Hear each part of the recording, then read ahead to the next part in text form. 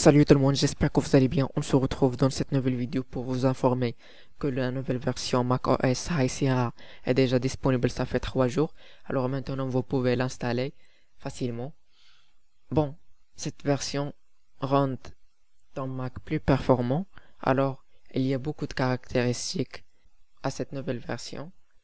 Alors, on va vous donner un article pour lire toutes les nouvelles caractéristiques de cette version macOS High Sierra. Après, vous pouvez l'installer depuis l'App Store. Il vous suffit d'ouvrir App Store après Updates ou mise à jour. Et vous allez trouver ici macOS High Sierra. Cliquez sur télécharger ou download pour commencer le téléchargement. Après, vous pouvez l'installer dans votre Mac sans problème. Bon, c'est tout. J'espère que vous allez adorer la nouvelle version. Si vous avez aimé la vidéo, n'oubliez pas de cliquer sur j'aime, partagez au maximum avec vos amis, abonnez-vous à la chaîne Geek et merci beaucoup pour nos chers fans.